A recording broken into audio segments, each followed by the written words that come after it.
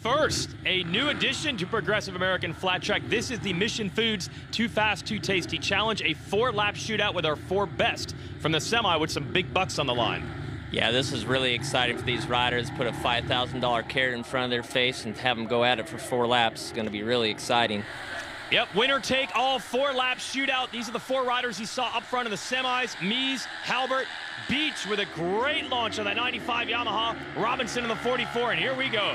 JD, yeah, with the awesome hole shot. Don't really see him not getting the hole shot on that Estenson Yamaha takes over going into turn three. Sammy Halbert gets taken over by Brandon Robinson, slides underneath him for second.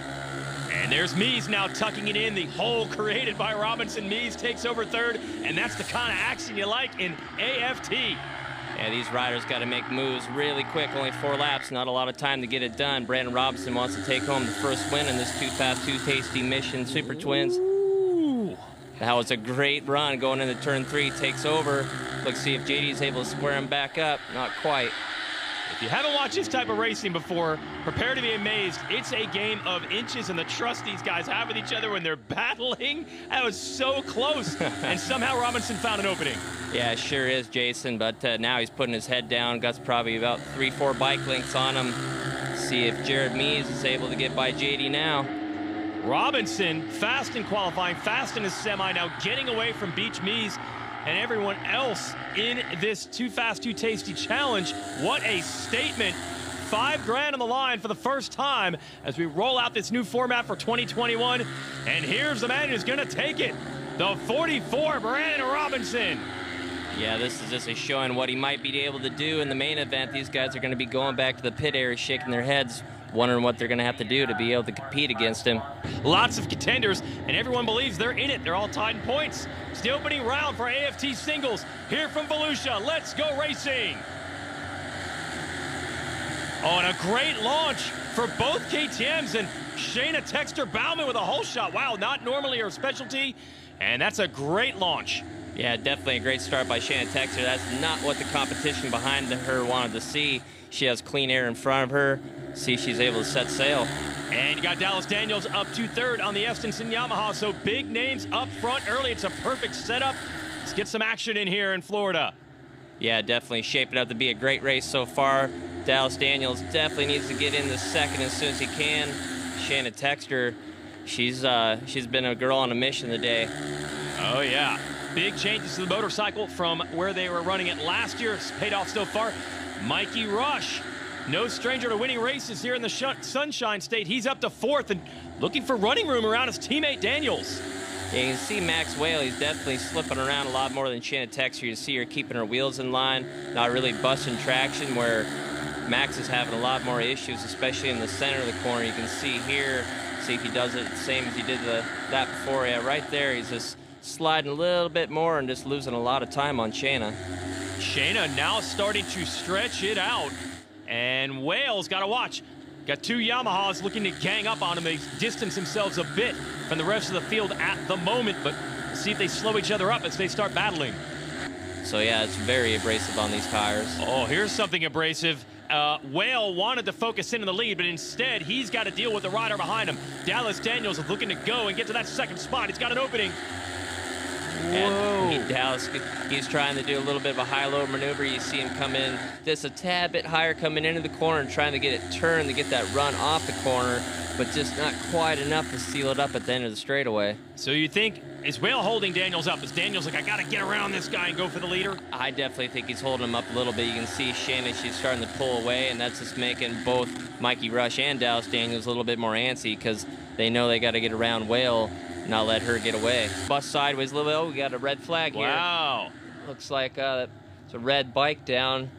Maybe Henry Wiles. Oh, no. That's a new effort with Honda. Henry Wiles considered to be a title contender. I haven't seen anything yet. Hope he's okay. There he is. Uh, All right. Got the chain off the motorcycle. That's Jeez. pretty uncharacteristic. Uh, Look at Dallas Daniels. Mm -hmm. He's mm-hmm. tracking down the leader now. We now have a battle for the lead. Systematically, slowly but surely, Daniels has gotten to the rear tire of your leader. So it's Texter Bauman against Daniels, two of the high-profile names. And wow, they have left the rest of the field behind. Yeah, Dallas is catching up to Shayna, but in her defense, it's so much easier to follow than to lead. So Shayna's up front. She's just trying to pace herself, not make any mistakes, not trying to push too hard to make one of those mistakes where Dallas is behind her and just kind of using her to gauge off of. He can run it into the corner just a little bit deeper and make up that time. It's just, yeah, a lot easier to follow than it is to lead. Uh, but how easy is it for him to pass? Is that going to be tough? That's going to be really tough. I mean, she's not making any mistakes right now. And really, I mean, to be able to go around the outside that you just got to carry so much more speed. So really he has to look for either a mistake or press the issue and come in and get aggressive and make her move out of the way. But that's, uh, you know, taking a risk of taking yourself out as well. Okay, so the clock, I believe, yeah, it's expired. So it's two to go here. And this is as close as Daniels has been. We got a real shootout for the opening round win. You see him come in It's a little wider. He's going to try to get it turned and get the run off the corner, but Man, there just isn't a bunch of room there. Okay, he's gonna start high, try to go underneath. White flag is out, last lap, coming out of turn two. Does Daniels have a line? Maybe into three. He's gonna have to really bury it into the corner. Try to get it turned. We'll see if he's able to do it. Ooh, he's got daylight, he's got an opening. Can Shayna get a drive out of four? She does, Shayna Texter. That's a big one. Takes the win here in Volusia and in that huge battle for the podium. It's going to be another Yamaha on the box. Mikey Rush just able to hold off Whale, and that is a big one for Shayna Texter Bauman. Here's the replay on the last lap. Yeah, definitely a great job by Shayna. She just keeps her wheels in line. I mean, she won by over a, a bike length there. She that was textbook. Yeah, in flat track, that's a big lead. Let's go racing. Uh, looks like a good start by Brandon Robinson. He's the closest to the racing line. Gets a bike hooked up, takes over the hole shot. Okay, and it's going to be Mees and Beach battling for the number two spot. Beach has it, and they're going at it already. Yeah, Beach right in tow. See if he's able to keep pace with Brandon Robinson. This is a great showing already for JD. Yeah, did not let Robinson get away it's a little odd because uh, Robinson, he has the grid choice, so he wanted to pick the outside, right? Oh, for sure. If you can start closer to the racing line, that's where the traction is. So quicker you can get to that, the more you're going to be able to get the power to the ground and accelerate. And it worked, but for how long? Beach, this Estenson Yamaha, they've got a hot rod. He is looking for an opening. He wants to lead. Yeah, it looks like Brandon Robinson's actually holding him up a little bit. JD right there. They call him Jiggy Dog.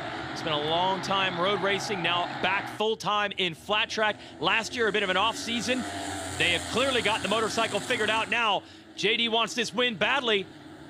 Yeah, JD is one of the fiercest competitors I've ever raced against. We grew up racing together in Washington State. He works so hard at this, and him and his team really deserve a good finish like this for how much effort they've been putting into it. But you've got the Roof Systems Mission Squad of Robinson. They are contenders as well, and they pulled away a bit. As a matter of fact, it's closer. Mees has more competition from behind than in front, the 6090. Coolbeth Nyla Racing Machine. There he is.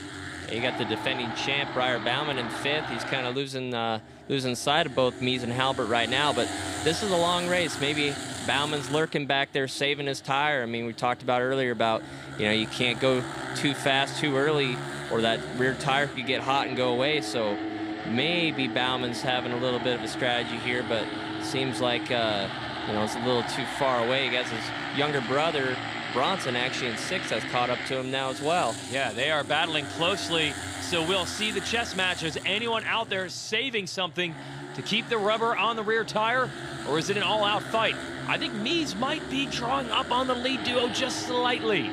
Yeah, we got uh, Kolby Carlile here as well that's doing really well on the Yamaha. It's good showing with him right on the backside of Jared Vanderkooi, his first time on the Indian motorcycle. Back to the front here, JD still still pacing Brandon Robinson. This is impressive. I would have thought that Brandon Robinson was going to check out by how good he was going both in his semifinal and the uh, too, fa too fast, too tasty dash for cash.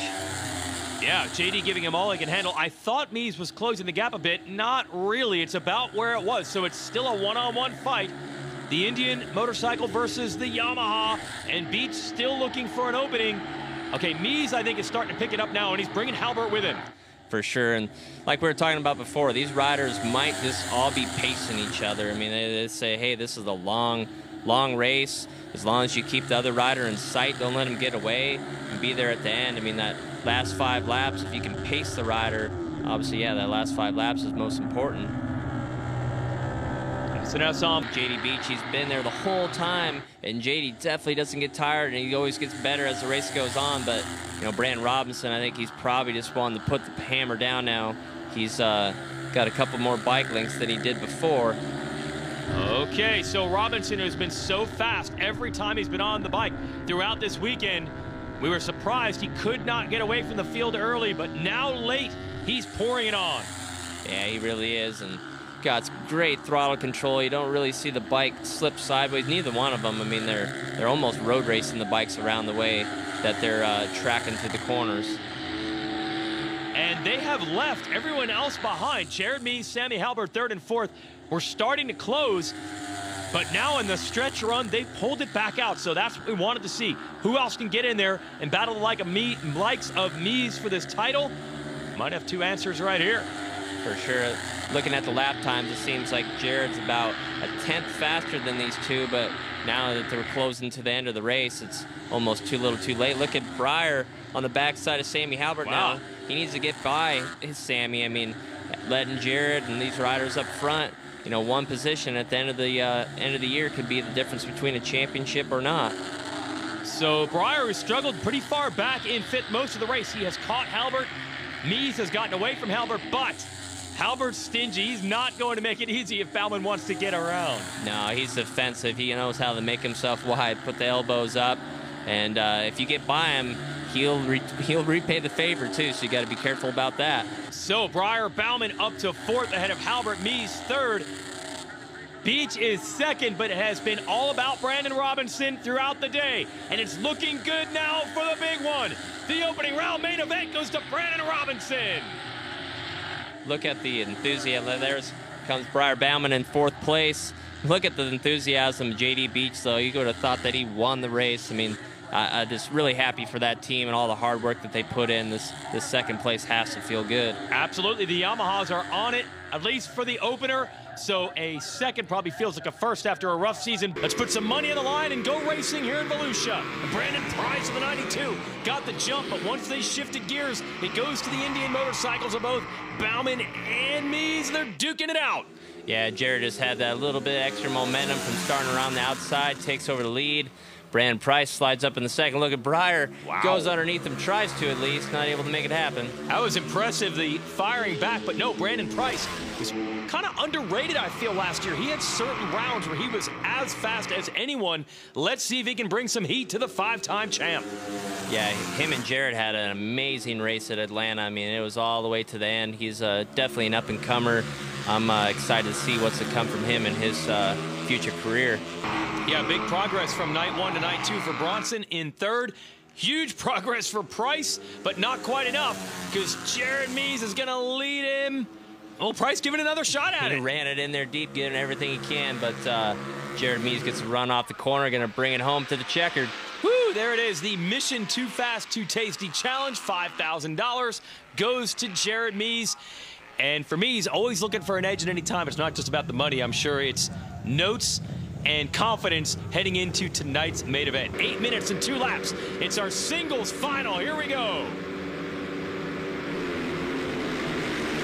Great start again from Shayna Texter on the outside. This is definitely not what the guys want to see again. Exactly what she did last night. And Shayna usually having to come from the back, but she has had the starts dialed this time. Trent Lowe going to put the challenge to her early. Yeah, Trent's looking awesome on the Wally Brown Suzuki, supported by Rowdy Energy. See if he's able to keep pace with her. And oh, she slips a little wide. See if he's able to get the run. This is it. Looking good. Finally, someone gets an opening on Shayna. Let's ah, see down push. the inside. Oh, that was a good effort. Just didn't quite add enough. Shayna shut the door on him, but he's still going for it though. Man, he's right on the bottom edge of that groove, taking some chances. And look out, Tanner Dean in third. He wants to take advantage of either of those two go wide. Wow, so this was the rider Lowe is battling for the lead. Now he's all the way at the back of this group. That's how quickly it can change. And Mishler made a bunch of passes already. Why not some more and take the lead? Yeah, he's uh, really trying that high line, being able to keep up a little bit more momentum. He's see if he's able to get over the lead, take over the lead here. This is exciting racing. Yeah, no one was able to get around Shayna on lap, or sorry, on night one. She's led every lap. Will it happen here on night two? Mishler looking for running room. She just gets such good drives off the corner. She's able, it seems like the rider's able to suck up coming in. They run it in just a little bit deeper, but you know, getting into the corner isn't nearly as important as getting off. You got to be able to get your wheels back in line and get that acceleration off the corner, and she's doing that really well. Here's Whoa. the replay going into turn three. You can see Morgan Mishler just getting the run on Trent Lowe. Oh, he touches the side of his side of his swing arm there a little bit. I mean, uh, didn't necessarily clip his handlebar, but definitely an aggressive move. Oh, it is heating up. Two minutes and two laps to go. Texter fighting back. Her and Mishler side by side. Mishler holds on. Uh, she knows how to get aggressive. She's already trying. Look at Oh, that's Daniels. Dallas Daniels trying to go around the outside, though. She's, oh, let's see that. She's just like, nope, I'm going to take it back over. Kind of got on the side of Dallas a little bit. Tanner Dean actually takes over the fourth place now. How do you stay in the moment when you make a mistake and you go from, say, first to third? How do you put that behind you immediately and focus on getting them back? Because that's what she's doing. How she does it again, I think that just fires you up. I mean, it really, you know, you, it's just like losing something. You don't want to lose that, so it just gives you that extra little bit of aggression. As this. she comes back and goes underneath the groove and slides right into the front of Mikey Rush. That, that was, was unbelievable. Yeah. From third to first, she just found the afterburner switch, and Rush has to reset now. Yeah, both Dallas and Max Whale, they want to get up and get on the podium. I mean, uh, Dallas and both of them really, you know, be there for the championship. Every every position counts. This is it on the backstretch for the final time. Half a lap to go. Does Rush have something? Uh, he's going to have to really pull a rabbit out of his hat. Shayna's just so strong right now. Ooh, oh, coming out close. of four. Finds opening. Not uh, big enough. Shayna Texter starts the year with back-to-back -back wins. That was impressive by Rush, though. He was really pouring it on there. Just Shayna was just a little too fast coming off of turn four. What's going to happen tonight? Let's go racing from Volusia. Good jump on the inside by Price, but it's going to be Bauman leading them into turn one on the number one. Yeah, Briar Bauman gets a great hole shot. Jared Mees already looking up the inside. This is going to be a great race between these two. Yep, they got a little revenge on the mind after being pushed to third and fourth at the opener. Let's see if Price or anyone else can run with them. Maybe the other Bauman Bronson, who is fourth. Briar Bauman back to his customary spot up front with the always determined, and I, I mean it when I talk about Jared Mees. I cover a lot of motorsports. I don't know if there's anyone that lives to win and put in every last bit of focus and effort to win races quite like Jared Mees. Yeah, you're definitely right. He's a he's a fierce competitor, probably the most fierce competitor I ever raced against. He's gonna go to work on Briar Bauman here. Yeah, he wants to prevent Briar from making a statement early in this season. Briar right now opening up just a little bit, but we saw throughout all the main events here at Volusia, what happens at the beginning is not a guarantee of the way it's going to happen at the end. That's not quite the case anymore as we flash back to last night's winners. They're still back there but now it's eighth and ninth instead of first and second, trying to get around Robbie Pearson. Yeah, Robbie Pearson, uh, he, he's a really good rider, a veteran of the sport, and has had a couple uh, podiums to his name. Looking good here tonight, but him and uh, both Brandon Robinson and JD Beach want to get by because they got to be able to catch up and get towards the podium. Pulling away from everyone he wants the title back this year. The best battle on the track, Brandon Price and Bronson Bauman for a top five. Yeah, great run by these guys. Uh, but look at this. Brandon Robinson has now caught up to him. He has made up a lot of ground on him. But he's made up that ground. Now it's uh, the hard part is going to be getting around them. This is the race of the night back here. Yeah. Look at uh, Jared Vanderkooi is back in the fight now. That is strange. He might pass all three riders back before it's over. Vanderkooi trying to get around the 44 of Robinson, and Price dealing with pressure from the 37 of Bronson Bauman. Yeah, Bronson's kind of caught in a pickle right now. I mean, he doesn't want to try to go around the outside too much because if he leaves that door open, you know, Robinson's going to be there to, to, to, to shut it. So, uh, yeah, he, he really has to be careful. So I think he's just really playing it safe, trying to make a way up the inside or wait for a mistake. You always know at the beginning of a championship that Jared Mees will show up ready. It is no different in 2021. One of the best to ever do it has won again. Jared Mees takes the victory. Look at this battle. Robinson has made the pass on Bauman. Yeah, Robinson just slid, slid around the outside there, carried his momentum, brings home a top five finish. That was uh, a good salvage for him from where he started. Absolutely, and Brandon Price, nice progress from where he was on night one. We'll finish up in fourth. Halbert Bauman third, second, and there, Mees and the familiar crew and work with the same folks for a long time, and they've got their A game in 2021. Definitely. That's actually Jared's father that he's taken for a victory ride there. It's pretty cool to be yeah. able to take your dad for a victory ride. Hey, motorsports fans, thanks for watching. Make sure you hit subscribe before you go for all the latest news and highlights across motorsports.